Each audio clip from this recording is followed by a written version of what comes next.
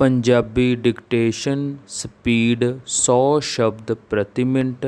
ਹਾਂਜੀ ready start ਉਹ ਬਿਜਲੀ ਘਰ ਜੋ ਪੰਜਾਬ ਦੀਆਂ ਸਰਬ ਪੱਖੀ ਲੋੜਾਂ ਨੂੰ ਪੂਰਾ ਕਰਦੇ ਹਨ, ਉਹ ਹਿਮਾਚਲ ਪ੍ਰਦੇਸ਼ ਵਿੱਚ ਜੋਗਿੰਦਰ ਨਗਰ ਦੇ ਸਥਾਨ ਤੇ Shanan power house Nangal thermal ਬਿਜਲੀ ਘਰ ਅਤੇ ਭਾਖੜਾ ਨੰਗਲ ਪਾਵਰ ਹਾਊਸ ਦਾ ਕੁਝ ਹਿੱਸਾ ਹਨ।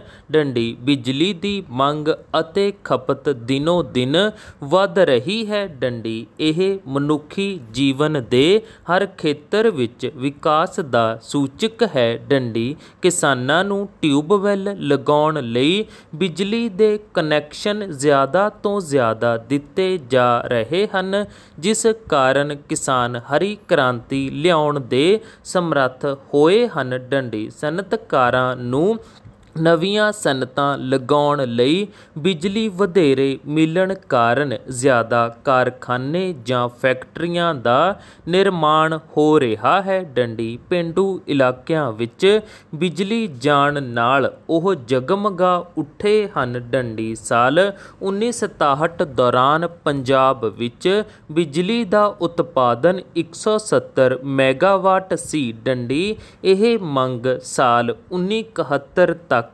ਤਕਰੀਬਨ 420 ਮੈਗਾਵਾਟ ਤੱਕ ਵਧੀ ਡੰਡੀ। ਬਿਜਲੀ ਦੀ ਇਹ ਮੰਗ ਭਾਖੜਾ ਦੇ ਸੱਜੀ ਬਾਹੀ ਬਾਹੀ ਦੇ ਬਿਜਲੀ ਘਰ ਵਿੱਚ 120 ਮੈਗਾਵਾਟ ਦੇ ਦੋ ਯੂਨਿਟਾਂ ਦੇ ਵਾਧੇ ਨਾਲ ਕੁਝ ਹੱਦ ਤੱਕ ਪੂਰੀ ਕੀਤੀ ਗਈ ਡੰਡੀ।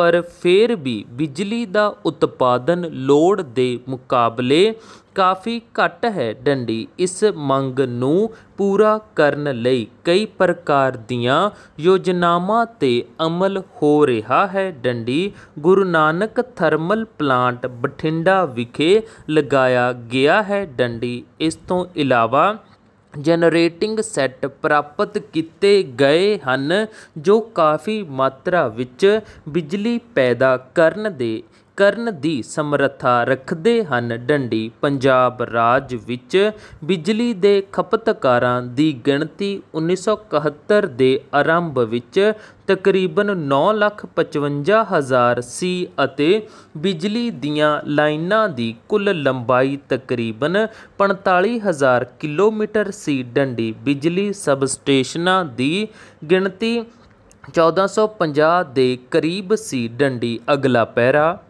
ਪੰਜਾਬ ਰਾਜ ਬਿਜਲੀ ਬੋਰਡ ਦਾ ਐਡੇ ਵੱਡੇ ਕੰਮ ਨੂੰ ਹੱਥ ਵਿੱਚ ਲੈਣਾ ਇੱਕ ਗੌਰਵਮਈ ਅਤੇ ਅਚੰਭੇ ਵਾਲੀ ਗੱਲ ਹੈ ਡੰਡੀ। ਪੰਜਾਬ ਦੀ ਟੋਟਲ ਸਿੰਜਾਈ ਦਾ ਅੱਧਾ ਭਾਗ ਬਿਜਲੀ ਨਾਲ ਚੱਲਣ ਵਾਲੇ ਟਿਊਬਵੈੱਲਾਂ ਰਾਹੀਂ ਹੁੰਦਾ ਹੈ। ਡੰਡੀ ਸਾਲ 1971 ਦੇ ਦੌਰਾਨ ਪੰਜਾਬ ਵਿੱਚ 91000 ਟਿਊਬਵੈੱਲਾਂ ਨੂੰ ਕਨੈਕਸ਼ਨ ਦਿੱਤੇ ਗਏ ਸਨ। ਡੰਡੀ, ਜੁਲਾਈ 1971 ਤੱਕ ਪੰਜਾਬ ਦੇ ਤਕਰੀਬਨ 12000 ਪਿੰਡਾਂ ਵਿੱਚੋਂ ਅੱਧੇ ਪਿੰਡਾਂ ਵਿੱਚ ਬਿਜਲੀ ਲੱਗ ਗਈ ਸੀ। ਡੰਡੀ ਪੈਰਾ ਬਿਜਲੀ ਦੀਆਂ ਨਵੀਆਂ-ਨਵੀਆਂ ਲਾਈਨਾਂ ਖਿੱਚਣੀਆਂ ਅਤੇ ਕਨੈਕਸ਼ਨ ਦੇਣ ਦੇ ਕੰਮ ਲਈ ਅਨੇਕ ਪ੍ਰਕਾਰ ਦੇ ਕੀਮਤੀ ਸਮਾਨ ਦੀ ਅਵਸ਼ਕਤਾ ਹੁੰਦੀ ਹੈ ਜਿਵੇਂ ਬਿਜਲੀ ਦੇ ਟਰਾਂਸਫਾਰਮਰ, ਮੀਟਰ, ਲੱਕੜੀ, ਸੀਮਿੰਟ ਜਾਂ ਲੋਹੇ ਦੇ ਖੰਭੇ,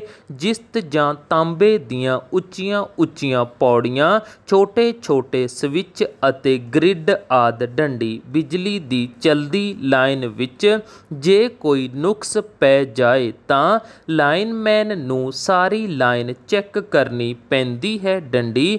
ਇਹ ਬਿਜਲੀ ਦਾ ਹੀ ਕਰਿਸ਼ਮਾ ਹੈ ਕਿ ਅੱਜ ਦਾ ਹਰ ਵਿਅਕਤੀ ਟਿਊਬ ਦੀ ਰੌਸ਼ਨੀ ਵਿੱਚ ਰਾਤ ਨੂੰ ਵੀ ਦਿਨ ਵਾਂਗ ਕੰਮ ਕਰ ਸਕਦਾ ਹੈ। ਡੰਡੀ, ਇਹ ਕਹਿਣ ਵਿੱਚ ਕੋਈ ਅਤਿਕਥਨੀ ਨਹੀਂ ਹੋਵੇਗੀ ਕਿ ਬਿਜਲੀ ਸਾਡੇ ਜੀਵਨ ਦਾ ਇੱਕ ਅੰਗ ਬਣ ਗਈ ਹੈ। ਡੰਡੀ, ਜੇ ਬਿਜਲੀ ਬੰਦ ਹੋ ਜਾਏ ਤਾਂ ਸਮਾਜਿਕ ਜੀਵਨ ਦੇ ਹਰ ਖੇਤਰ ਵਿੱਚ ਹਰਕਤ ਬੰਦ ਹੋ ਜਾਂਦੀ ਹੈ। ਡੰਡੀ, ਹਕੀਕਤ ਵਿੱਚ ਬਿਜਲੀ ਮਨੁੱਖੀ ਜੀਵਨ ਵਿੱਚ ਬਹੁਤ ਉੱਘਾ ਅਤੇ ਮਹੱਤਵਪੂਰਨ ਹਿੱਸਾ ਪਾ ਰਹੀ ਹੈ। ਡੰਡੀ, ਬਿਜਲੀ ਤੋਂ ਬਾਅਦ ਹੁਣ ਜ਼ਮਾਨਾ ਐਟਮ ਦਾ ਆ ਗਿਆ ਹੈ। ਡੰਡੀ, ਸਟਾਪ।